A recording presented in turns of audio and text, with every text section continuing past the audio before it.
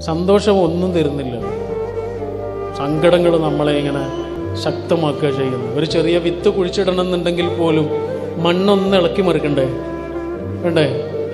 എന്നാലല്ലേ വിത്ത് കുഴിച്ചിടാൻ പറ്റുള്ളൂ. ഇതാണ്. നമ്മുടെ ജീവിതത്തിൽ പഠിച്ചോൻ ഇങ്ങനെ വിത്ത് കുഴിച്ചിടണം എന്നുണ്ടെങ്കിൽ ഈ മണ്ണൊന്ന് ഇളക്കി മറിക്കണം. അതിനാണ് ഈ വേദനകൾ സങ്കടങ്ങൾ എന്നൊക്കെ നമ്മൾ പറയണം. ഒരു ചെടിയെ ഒരു കർഷകൻ ഇങ്ങനെ ബഡ് ചെയ്യണ സമയത്ത് ചെടി എന്താ വിചാരിക്കുന്നത് എന്നെ അവിടെ ഇവിടെയൊക്കെ മുറിക്കുകയാണല്ലോ എന്നാണ് വിചാരിക്കുന്നത്. കർഷകൻ എന്താ വിചാരിക്കുന്നത്? ആ ചെടിയെ വളർത്തുക എന്നാണ് വിചാരിക്കുന്നത്. മുമ്പുള്ളതിനേക്കാൾ ഭംഗിയായി ഇനി ആ ചെടി വളരും. ഇതാണ് സങ്കടങ്ങൾ അപ്പൊ നമ്മുടെ സങ്കടങ്ങളൊക്കെ അങ്ങനെ തന്നെ നിൽക്കട്ടെ.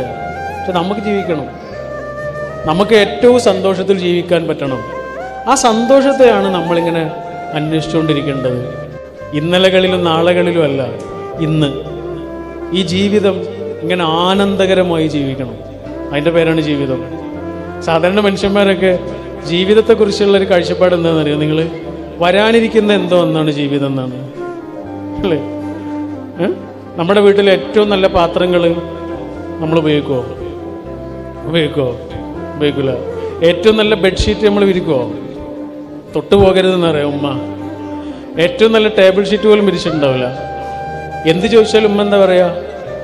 ആരോ വരാനുണ്ട് എന്ന് പറയാം. ആരും വരാനില്ലെന്ന്. നമ്മുടെ ജീവിതത്തിൽ ഏറ്റവും നല്ല അതിഥി നമ്മൾ തന്നെയാണ് അതുകൊണ്ട് ഏറ്റവും നല്ല ചായയും കാപ്പിയും പിന്നെയും പിന്നെയും കുടിച്ചോളൂ. ഏറ്റവും നല്ല ബെഡ്ഷീറ്റ് ഉപയോഗിച്ചിട്ട് കിടന്നോളൂ. ഏറ്റവും നല്ല പാത്രത്തിൽ ഭക്ഷണം കഴിച്ചോളൂ. ഏറ്റവും ആനന്ദത്തോടെ ഈ നിമിഷത്തെ പിന്നെയും പിന്നെയും ആസ്വദിച്ചു ജീവിക്കൂ. വരാനിരിക്കുന്ന എന്തോ ഒന്നിന്റെ പേരല്ല. ഈ കഴിഞ്ഞു പോകുന്നതിന്റെ പേരാണ് ജീവിതം.